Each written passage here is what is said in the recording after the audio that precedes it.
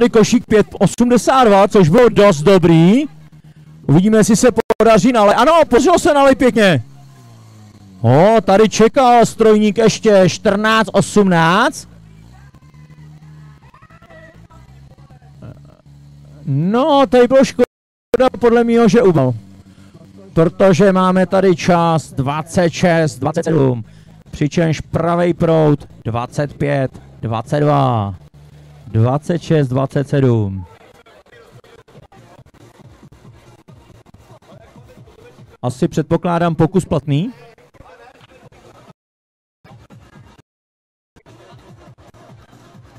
No a máme tady poslední družstvo Kožlany.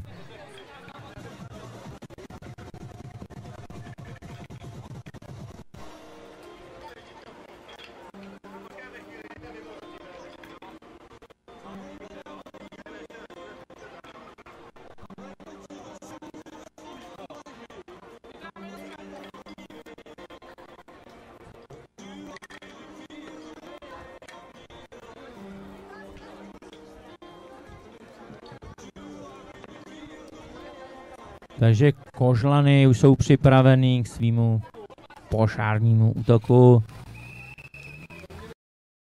Takže kožlany, jdeme na to.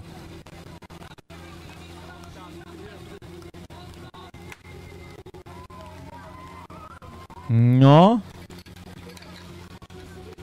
Ano, košík se poved. Košík máme 7,66.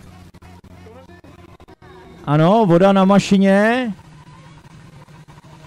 Kohout zavřeli, ale myslím si brzy, 16.65, ale samozřejmě to je jenom moje rozhodnutí ze strany komentátora a Tepřiv teďka ta mašina vzala na plnou vodu a tlačí to dopředu a máme se stříknuto...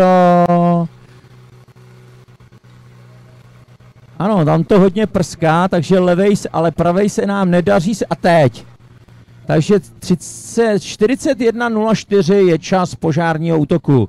Přičemž levý proud 35.91 a myslím si, že velký problém právě byl uh, ten vzduch v té mašině, kdy to kuckalo a nechtělo to vzít. Pokus asi platný.